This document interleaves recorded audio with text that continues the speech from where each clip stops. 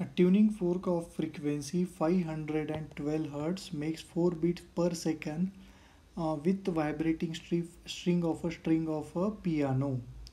तो देखो आपके पास एक ट्यूनिंग फोर्क है जिसका फ्रीक्वेंसी 512 है। एक पियानो है उसका फ्रीक्वेंसी मान लो एन पी है। ये दोनों कितना बीट्स दे रहे हैं? चार। और n p minus five hundred and twelve is equal to four है।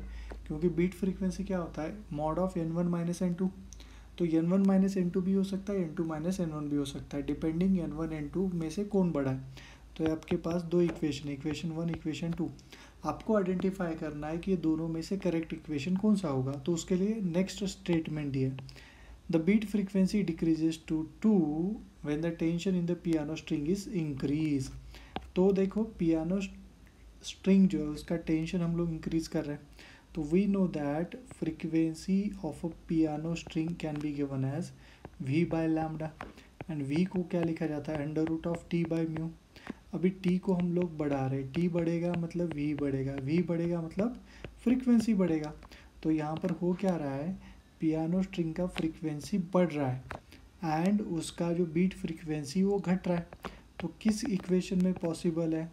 देखो, ये बढ़ाओगे तो ये डिफरेंस घटेगा। तो सही है। एंड ये बड़ा हो गया तो ये डिफरेंस बढ़ना चाहिए बट यहाँ पर घट रहा है। तो सेकंड इक्वेशन गलत है फ़र्स्ट इक्वेशन सही है तो आएगा five hundred and twelve minus n p is equal to four तो n p is equal to कितना आ जाएगा फाइव ज़ीरो एट हर्ट्स तो option d is a correct one